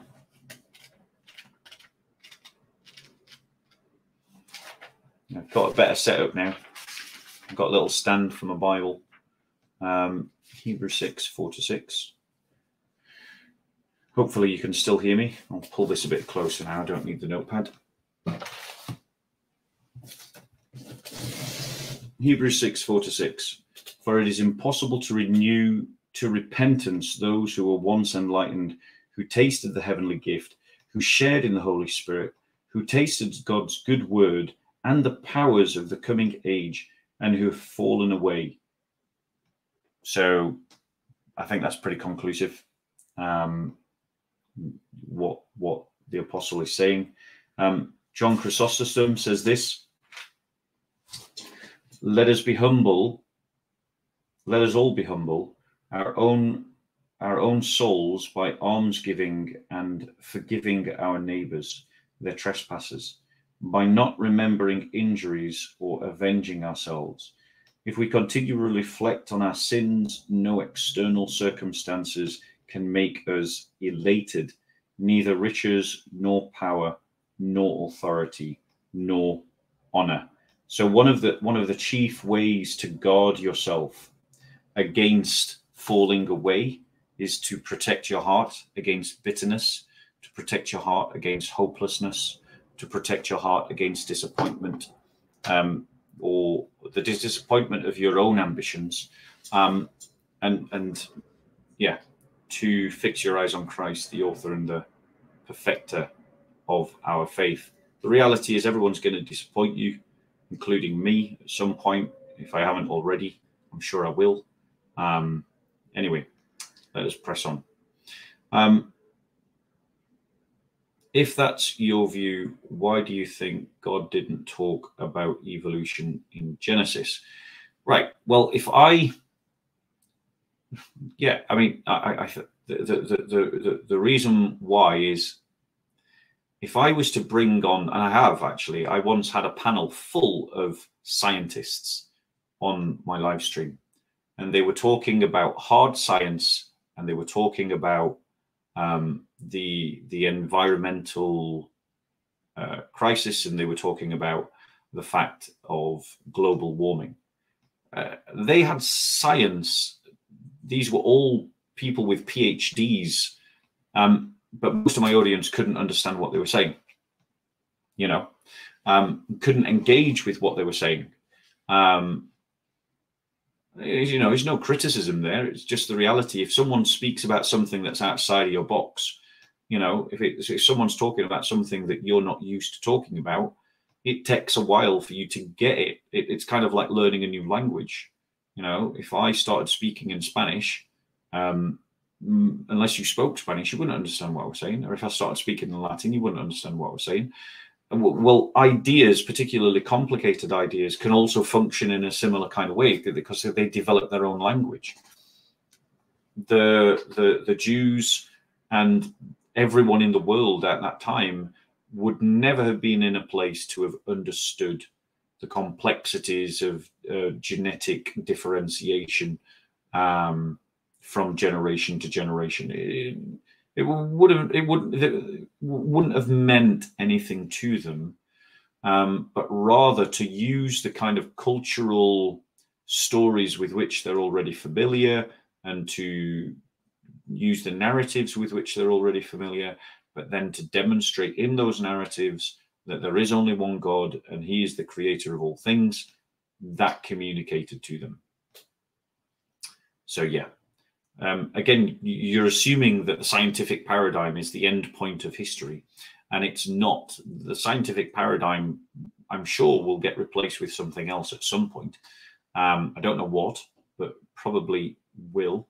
Maybe already is, because we're seeing with progressive wokeists um, that these guys are accusing mathematics of being racist and denying um, obvious genetic uh, facts that should not be denied, such as the idea that there are males and females. So we might actually be moving into a post scientific age. We've certainly got the rumblings of it, but who knows what the next paradigm will be. Um, how long we've done that question. So any other questions? Dr. James Tour says evolution is impossible He's a Jewish follower in Jesus and says top scientists in private say they can't fit evolution into life. And Dr. James Tour has PhD in chemistry biology. I'm not going to comment. I I think that if Dr. James Tour had some really knockdown argument on evolution, he'd probably be in Times Magazine. Um, the fact that he isn't makes me think that he probably hasn't got the kind of knockdown argument that he he's proclaiming himself to make. Um, the reality is that that the scientific community um, has its philosophies and and has its kind of um, its devotions to ideas. But if you can come up with solid evidence or solid argument about something, you can flip that over um, that's one of the reasons why science works is because it, it can change its its materialistic model um, of, of, its understanding of the world. Um, but that which is evidenced and uh, empirically observed doesn't disappear from the new paradigm, the new the new idea. It just gets enfolded into it, know, enfolded into it, um, like Isaac Newton gets enfolded into Einstein. So um, I'm afraid that just because Dr. James Tour says that doesn't mean that I necessarily agree. Um, yeah. So there you go. For me, though, this is not the most important thing to be talking about. I think there's far, far more important questions um, to be discussing in our society than and and and for the church to be discussing than this question. Uh, and I say that with love, Paul. You know, it's like feel free not to believe in evolution. I'll have fellowship with you. I'll break bread with you. We'll go out and evangelize. Um, you know, it, it, it's not that important. A much bigger question is how are we going to create families in the church when we're not having families? How are we going to do that, guys? How are we going to help our brothers and sisters who are being persecuted around the world? What are we going to do about that, guys? How are we going to recapture our institutions from the progressive militants that have taken them over? How are we going to do that, guys? How are we going to um, end centuries of division over hardly anything? Now, even if you're a Protestant who thinks I can't have communion with Catholics, well, take this principle and apply it to the Protestant churches. You know, or if you're Orthodox, apply it to the Orthodox churches. Or if you're Catholic, just apply it to the Catholic Church. There's divisions everywhere. How are you going to help to end those divisions rather than make them greater? There are so many other questions that are far more important um, than the question of evolution. Um, yeah. However, you know, so I'm not interested in convincing anyone. The only time I ever talk about this is because people ask me. Dr. Brown elaborated on the freedom of Gentile and Jewish Christians. What else would you like to discuss with Dr. Brown or other Messianic Jews? Um, I would like to have discussed more um, particularly, you know, things that that Messianic Jews can teach the Gentile church and things that perhaps Messianic Jews need to learn from the Gentile church. Like he spoke about more about rediscovering the Jewish roots of the church, and I think that's absolutely sound thinking. But I would have loved to have tried to elaborate and padded out um, what that looked like. Um, let me just get my pen and paper, like there were lots of other things. Um, you know, I, I, I, wanted to talk to, I'd love to talk to him more about Trinity in the Torah um, and belief in the Trinity.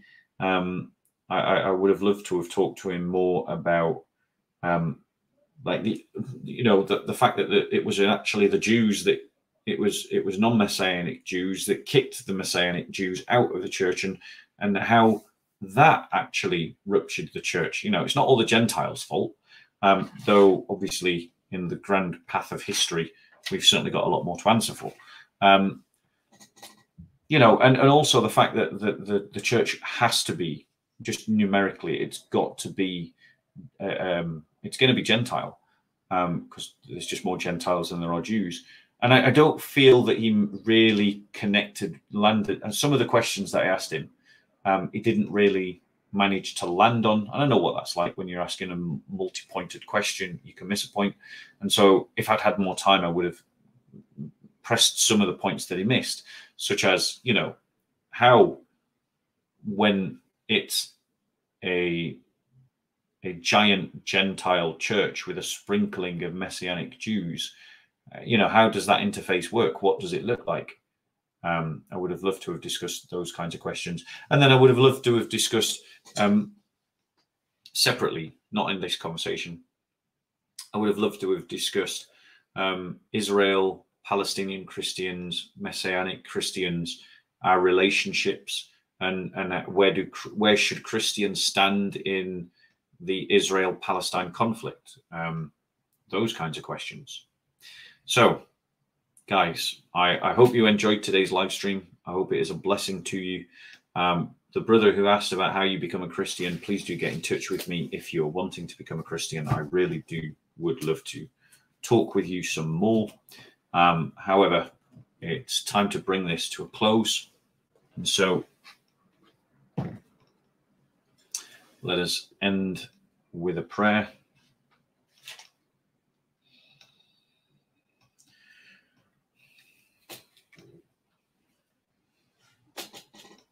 Benedic anima Praise the Lord, O my soul, and all that is within me. Praise his holy name. Praise the Lord, O my soul, and forget not all his benefits, who forgiveth all of thy sin, and healeth all thine infirmities, who saveth thy life from destruction, and crowneth thee with mercy and loving kindness, who satisfieth thy mouth with good things, making thee young and lusty as an eagle. The Lord executeth righteousness and judgment for all them that are oppressed with wrong. He shewed his ways unto Moses, his works unto the children of Israel. The Lord is full of compassion and mercy, long suffering, and of great goodness. He will not always be chiding, neither keepeth he his anger forever. He hath not dealt with us after our sins, nor rewarded us according to our wickedness. For Luke, how high the heaven is in comparison of the earth, so great is the mercy also towards them that fear him. Luke, how wide also the east is from the west, so far hath he set our sins from us. Yea, like as a father pitieth his own children, even so is the Lord merciful unto them that fear him. For he knoweth whereof we are made he remembereth that we are but dust. The days of man are but as grass, for he flourisheth, uh, for he flourisheth as a flower of the field. For as soon as the wind goeth over it, it is gone, and the place thereof shall know it no more. But the merciful goodness of the Lord endureth forever and ever upon them that fear him, and his righteousness upon children's children even upon such as keep his covenant and think upon his commandments to do them. The Lord hath prepared his seat in heaven, and his kingdom ruleth over all. O praise the Lord, ye angels of his, ye that excel in strength, ye that fulfill his commandments, and hearken unto the voice of his words. Praise the Lord, all ye his hosts, ye servants of his that do his pleasure. O speak good of the Lord, all ye works of his, in all places of his dominion. Praise thou the Lord, O my soul. This is the word of the Lord. Thanks be to God. Good night.